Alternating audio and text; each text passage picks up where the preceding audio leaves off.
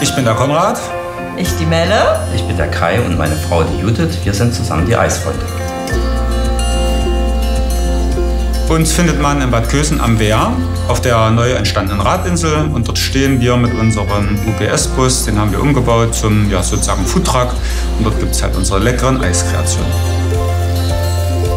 Meine Eltern hatten ähm, viele Jahre eine Eisdiele und die haben zugemacht, haben geschlossen und nach zwei Jahren äh, missglückten Verkauf haben unsere Mädels, die Melle und die Judith, ähm, begonnen dort Eis herzustellen auf letzten Endes den ihren Rezepturbasen und nach ja, einem Jahr haben wir gesagt, wir müssten noch einen neuen Kurs, Seminar mal machen, wie man Eis noch auf andere Art und Weise macht. Und da bin ich mit dem Kai zusammen zu einem Eisseminar gefahren. Und auf Grundlage dieser äh, Rezepte haben wir uns entschlossen, das selbst nochmal neu aufzuziehen und haben das jetzt auf einer ganz anderen Basis halt nochmal neu gestartet.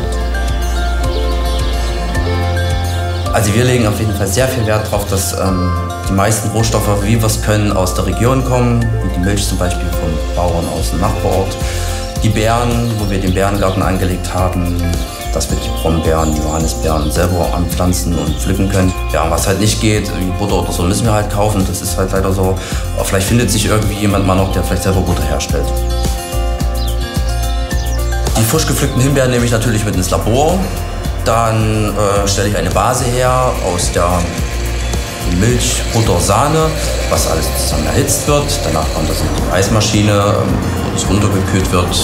Ja, wird dann die Speiseeisschalen abgefüllt, kommt in einen sogenannten Schockfroster und danach in die Lagerschränke zum Verkauf.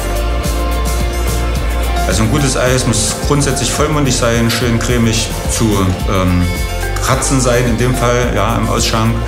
Und äh, gut ist es einfach, wenn die Leute schon beim ersten Mal lecken sagen, du, das passt. Ja.